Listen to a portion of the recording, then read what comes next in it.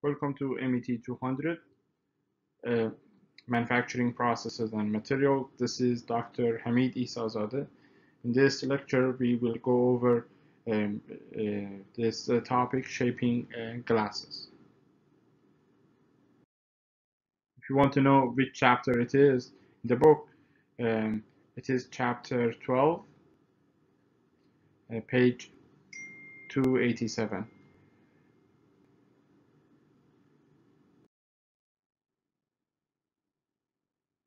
The glass working has four sections, raw material preparation and melting, um, shaping processes in glass working, heat treatment and finishing. The last part will be product design consideration. Previously, we talked about um, uh, glasses. We mentioned that the glass is one of the three basic categories of uh, ceramic. Ceramic has uh, three categories like uh, traditional uh, ceramic, which are based on clay and um, abrasive wheels and cements. These are some of the traditional ceramics. Then we had uh, new ceramic or called industrial ceramic and these are uh, recently developed and uh, this material this uh, ceramic are based on oxide uh, or carbide. They have a better uh, mechanical property than comparing with the traditional uh, ceramic. The last one is um, glasses and glasses are primarily uh, based on silica. And they are distinguished by their non-crystalline structure and the silica or uh, silica glass is uh, in the form of an SiO2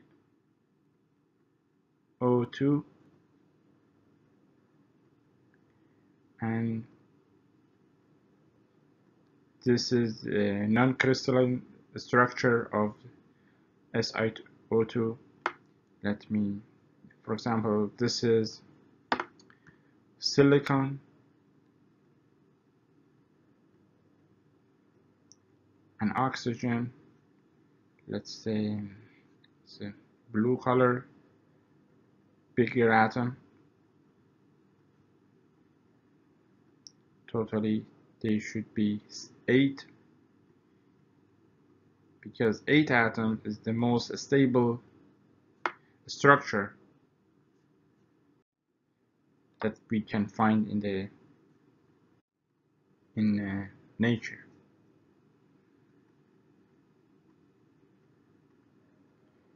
so this is oxygen.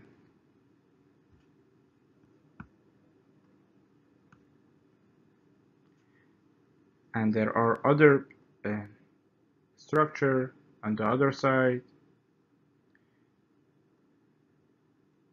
So this uh, pattern can be repeated. So because it's a random uh, it's called non-crystalline structure. So the structure is not crystalline. It's not you know um, organized.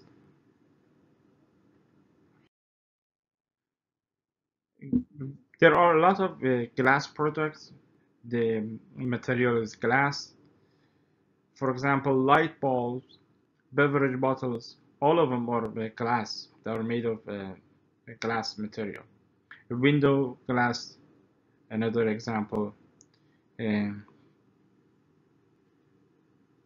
glass uh, tubing glass fibers the, the giant uh, glass lenses.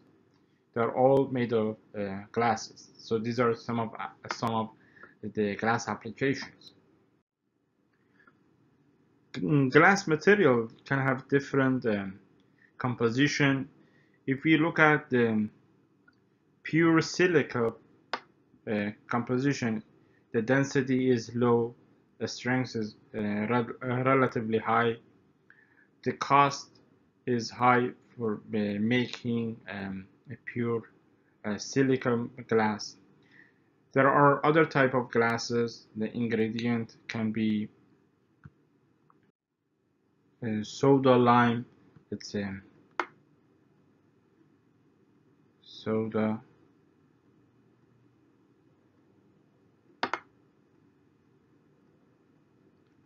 lime.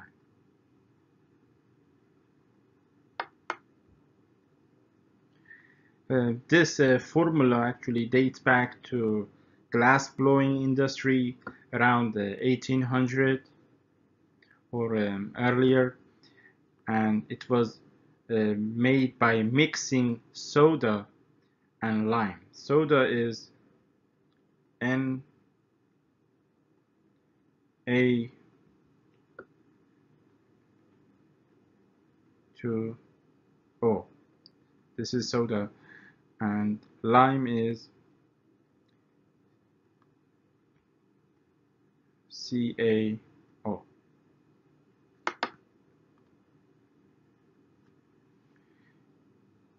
If we have soda lime glass, the density is higher than the pure silica and the cost of the production is going to be much lower than the pure silica. The shaping method for uh, glass are quite different from those for the traditional and new ceramic material, which are based on the particulate uh, processing. In this schematic, as you see, uh, we have a typical process sequence in glass working. Uh, first, we have a sand material, then the sand is going to be melted. Then the, that material, the molten glass will be used to uh, make any shape um, made of uh, glass material. So when the sand is melted, it um, the material uh, remains in a glassy state rather than you know the crystalline structure.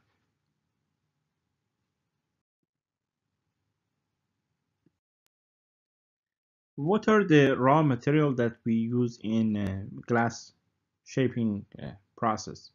The raw material is, as I mentioned before, is silica. You know, the main component is silica, and it is uh, SiO2. It is available in sand um, because it's a natural you know, quartz. If you have equipment or a facility to melt the sand, then you can um, create glass. Once the sand is melted, um, it forms you know glassy form. Then if you um, then you know cool it to room temperature, it stays at that you know in that uh, glassy uh, state. There are other components which can uh, give you desired uh, composition, desired you know property, like uh, soda ash is uh, is one of them. Limestone. Uh, we have aluminum oxide in glass. Sometimes we use you know recycled glass in in the glass making process, so it can um, reduce the cost of the, the uh, raw material. In the glass melting uh, process, we um, take a batch of starting material, and that uh, batch of starting material is called charge. And then we load it into the furnace, and that uh, process is called charging the furnace. And the temperature in the glass making process um, can vary between 1500 to 1600. So you need the equipment um, to raise the temperature temperature up to that point uh, at maximum 1600 degrees Celsius so because it's a high temperature uh, it's a Celsius it's a high te temperature so uh, equipment um, is expensive. The next point is the viscosity of the molten glass is inversely related to temperature. What does it mean? It means if the temperature goes up, the viscosity uh, decreases. If the temperature goes down, then viscosity decreases. So shaping the process has to start immediately during you know when you take the metal um, molten glass from the furnace.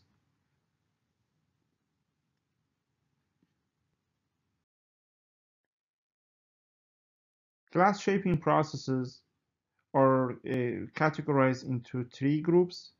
The first group is called this is called the discrete process, which are um, used to make uh, pieceware like uh, bottles, jars, and plates. The second group is called continuous process, which can be used to make a flat glass. It can be used to make a sheet and plate glass, as well as a tubing. The last one is a fiber making process, um, which the shaping process, the glass shaping process, is used to make a small um, glass material for insulation. Uh, insulation can be um, thermal insulation, it can be electrical insulation, also it can be um, sound insulation. So the insulation has uh, has uh, several uh, variety.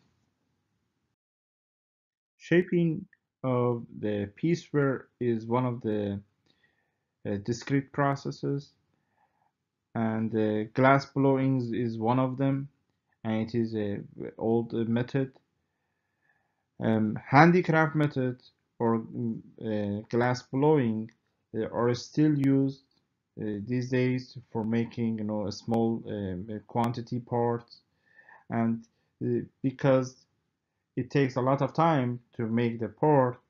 And normally the cost of the part is higher than the, those parts that are uh, built or made by um, um, factories. Um, factories they use a mechanized uh, technology for you know producing the discrete uh, pieces uh, like bottles, you know, jars, and in high quantity.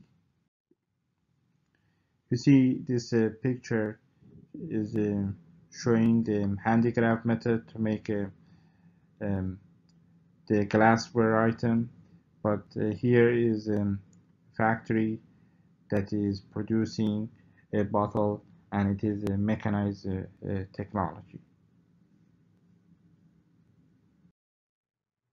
The mechanized technology can be used to make a pieceware. Here we have one, uh, one of them. It is called the spinning process. It has two steps as you see. The, the first step is this, where we have a gob of hot metal. It's um, dropped into the mold. This part is called the mold. Then the mold is going to be rotated because of the centrifuge effect. Uh, the material will take the will pick up the shape of the mold. This is the part as you see here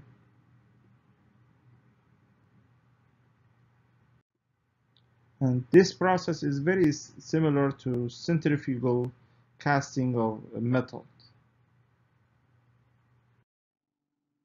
Next is pressing of uh, flat pieces. This is another pieceware uh, shaping process where we have a hot glass cup here.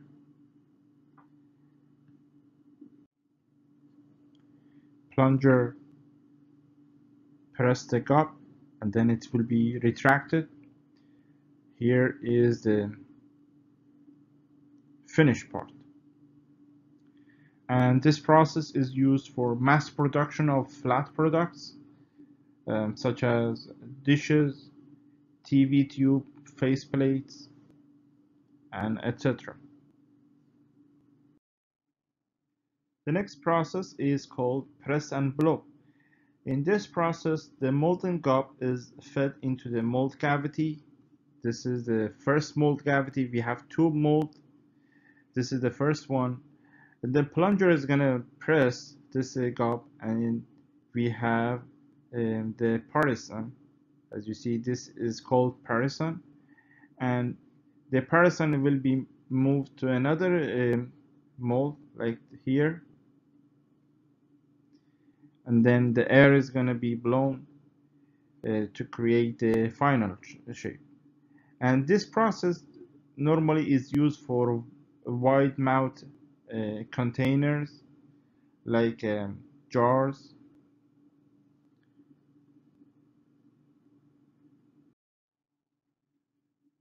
This process is a modified version of the previous one. It's, called uh, blow and blow. As you see in this, um, picture, the gob is located in the first uh, cavity, in the first mold cavity. The air will be uh, blown from the bottom and it uh, take uh, the initial shape in this um, mold cavity then the mold is going to be repositioned and that part will be moved to another mold cavity. Again the air will be uh, blown to create the final shape.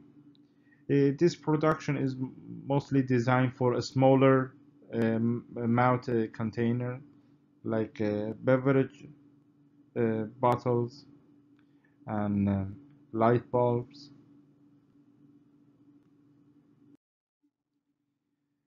casting the casting process also are used for uh, glass shaping but um, because the process you know the casting process requires that metal, uh, the glass uh, should be in liquid form the cost of the equipment is high um, because as you know during casting process, the temperature um, should be a little above the melting point. For example, if the, the, melting point of the glass is 1500 or 1600, um, the temperature of that material should be at least 100 uh, degrees Celsius more than the melting point so it should be 1700 degrees Celsius.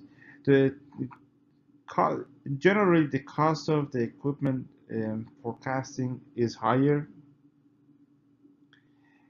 Um, it is it will be reasonable for uh, objects like a massive object such as astronomical lenses and mirrors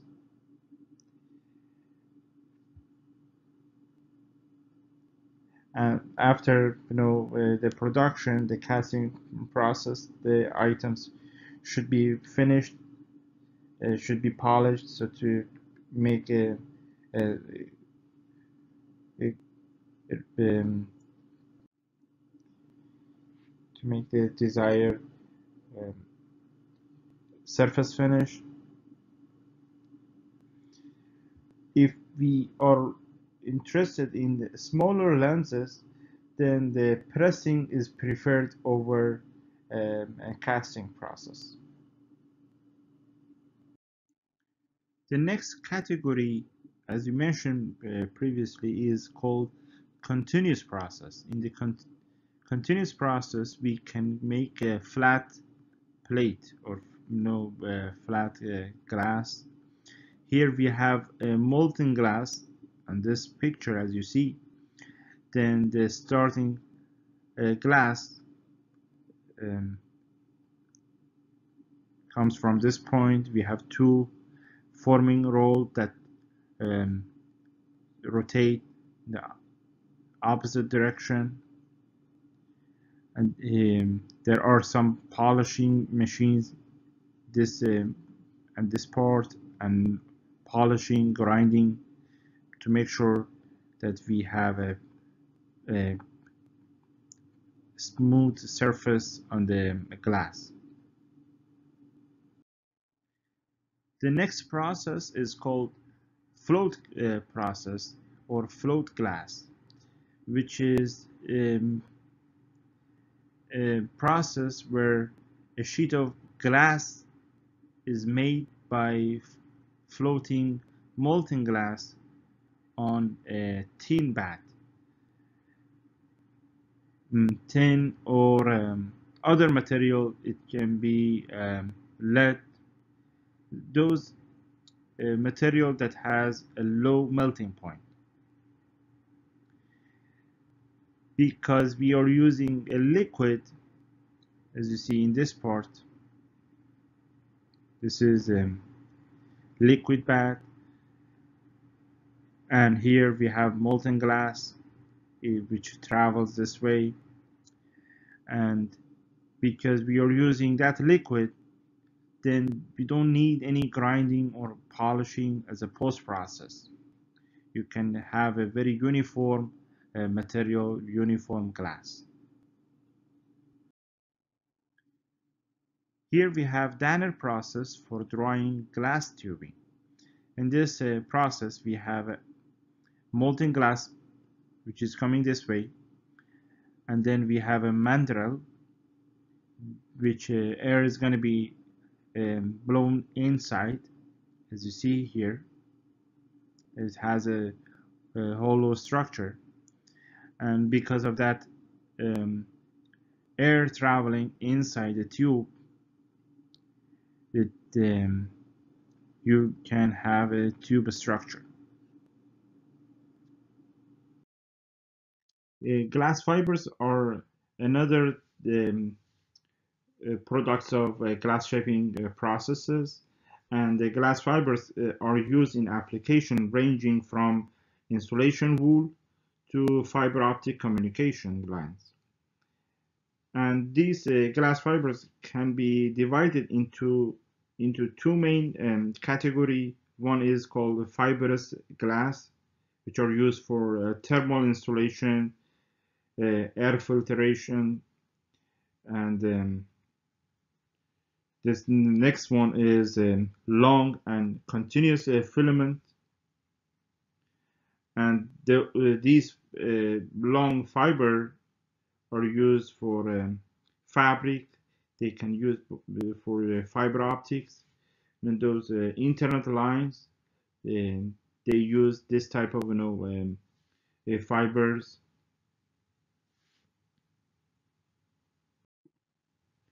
and each uh, uh, category uh, uses the, its own process. Like the fibrous glass um, we, the centrifugal spraying is used to produce a, um, these short fibers. And the other one um, the long and continuous filament um, the drawing is uh, the drawing process is uh, utilized. The first process is the centrifugal spraying, which is used uh, to make a glass wool or um, or short fiber, short glass fiber. In this um, process, there is a spinning head like this, um, and it is rotating with a certain uh, velocity. Then we have a molten metal, uh, molten glass uh, that comes here. Let me draw it with a different color. So we have molten glass, this area. There is um, orifices, a lot of orifices, hundred of them located on this um, head. When we have rotation, then we have centrifugal force, right? So this molten glass uh, will tr go through um, these orifices. And because of the gravity, it fell. Then there is a binder spray or something, some spray that cools um, these um, fibers when they drop and the conveyor which is here um, which um, the conveyor is there to collect you know these uh, fibers. When they drop uh, the, the fibers will break uh, into small pieces.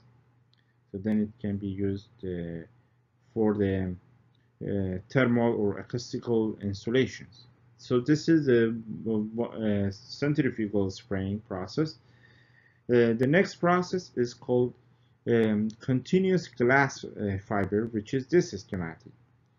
Um, if you have the molten metal uh, similar to centrifugal spraying on the top, but there is a, a small difference. There's no centrifugal force here. Also, we have a heated orifice plate.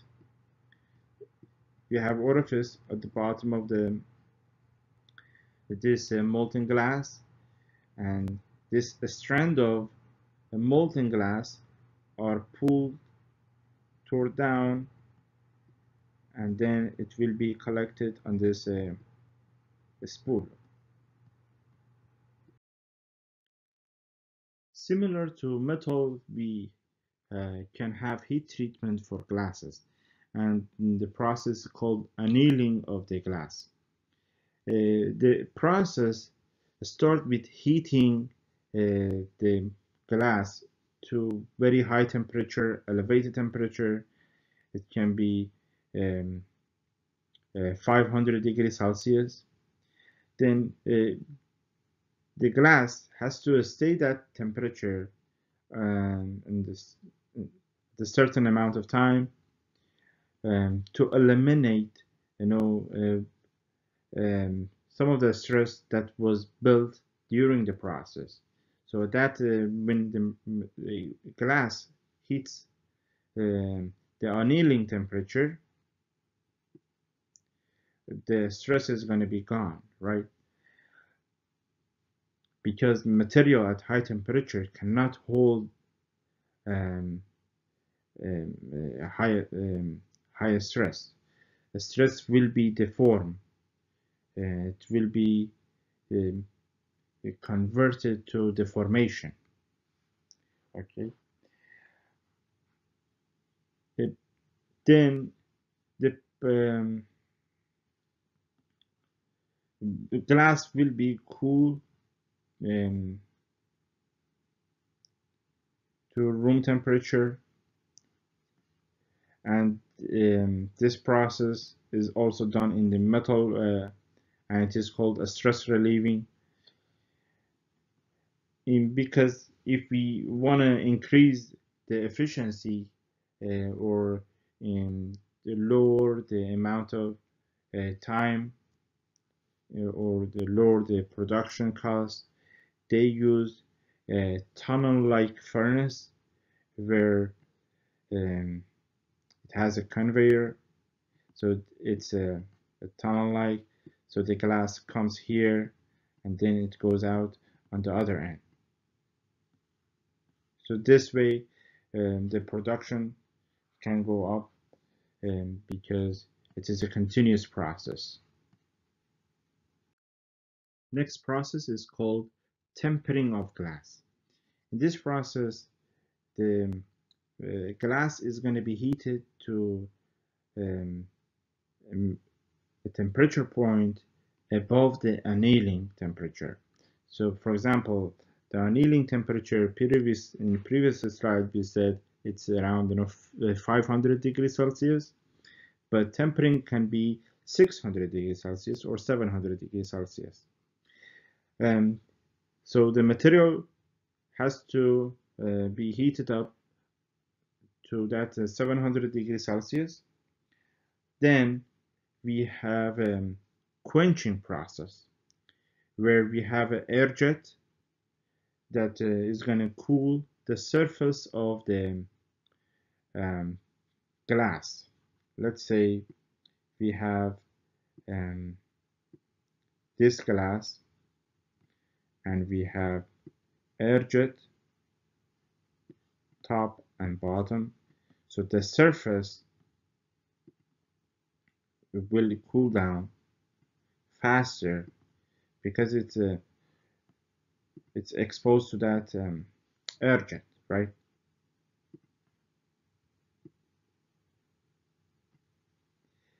but internal is still hot. This area is still hot.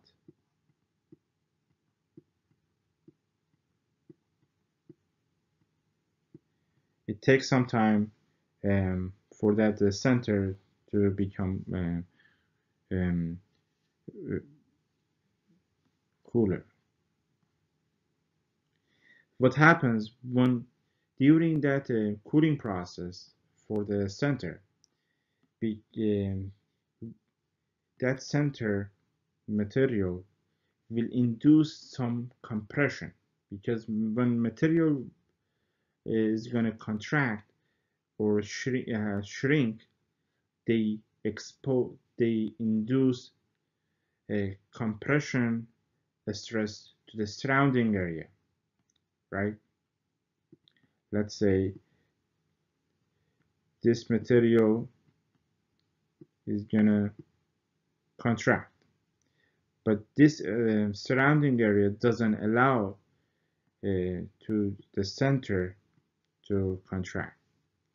So it has it applies some compression to, you know load to this area.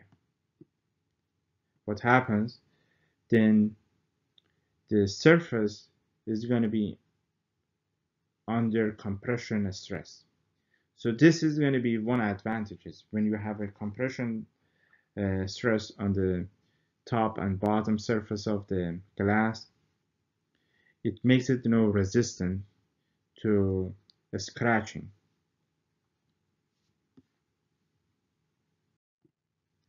A lot of windows uh, for the tall building are made uh, um, with this technique and they are safer uh, glasses. In terms of safety this is a better uh, type of glass uh, for these applications the next application of the glasses is in automobile windshield. Um, we cannot use the tempered glass in um, a windshield in the automobile windshield because when it shatters you know it hits the object it shatters then uh, it becomes a lot of you know small you know fragment.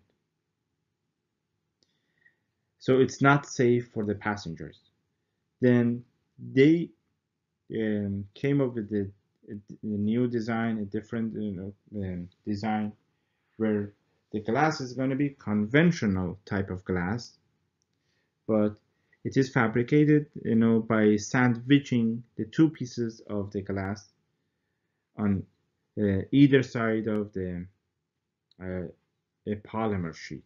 So we have a polymer sheet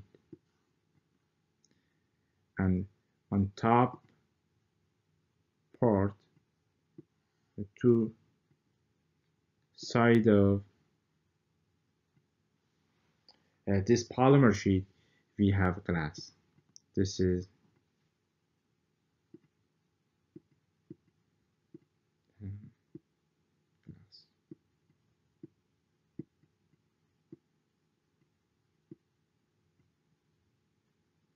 this one and this one and this yellow is polymer.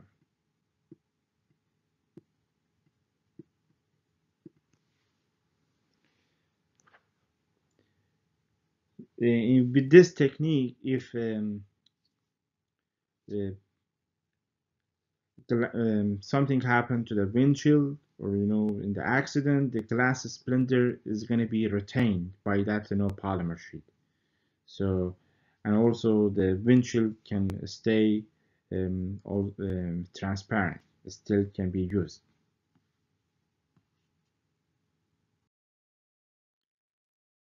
Here we have uh, the uh, finishing operation that can be done on glasses.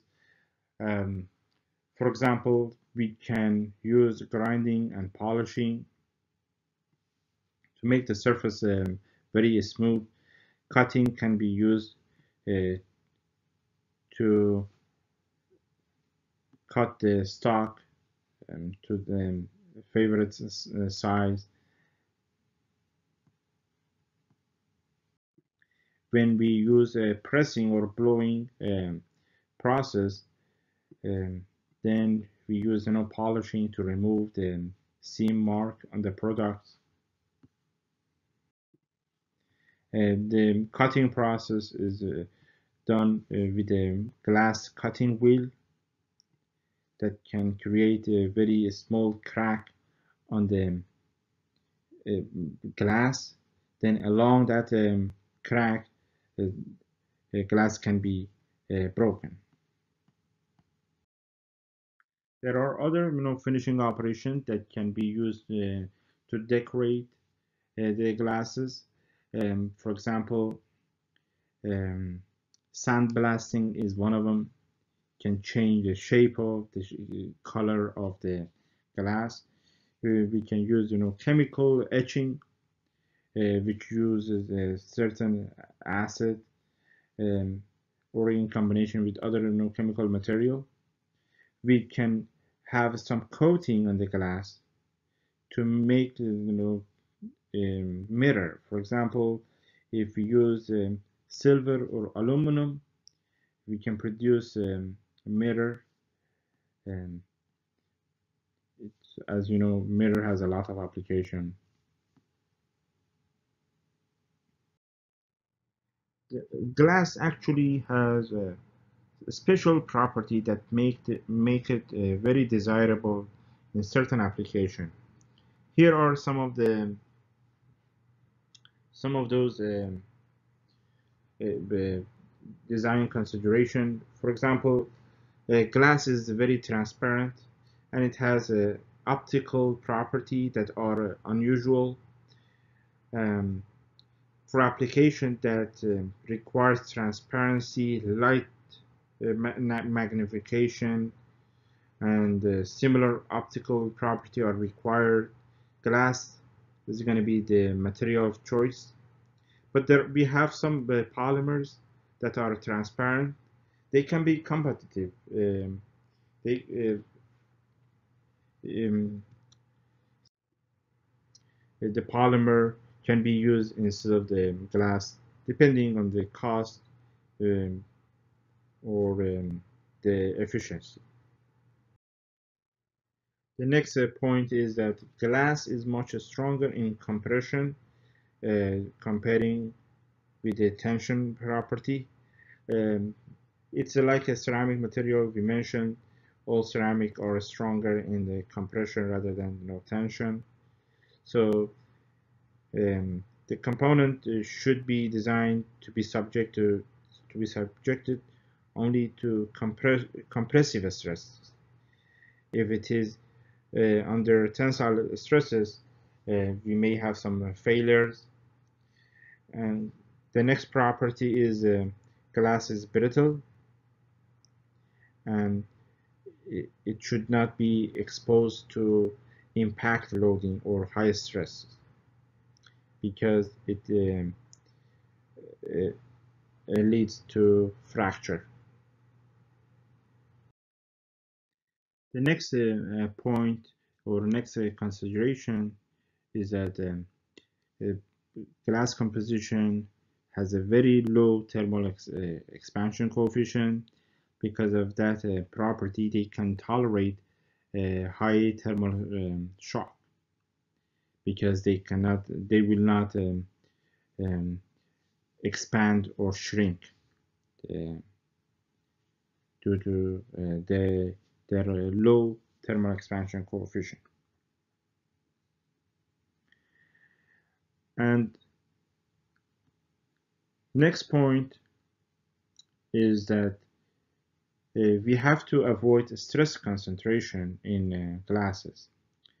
So, for example, if you have an application that requires some edges and corners so these edges should not be uh, sharp. The radius of these corners um, should be large so we can avoid uh, uh, those stress concentration at the corner so we don't have any high stresses because high stress um, will lead to to fracture at, at that uh, corner. It is possible to create a um, thread on the glass, but the thread should be very coarse. Again, if you make it um, very small or sharp uh, thread, uh, then we have a point of um, stress concentration.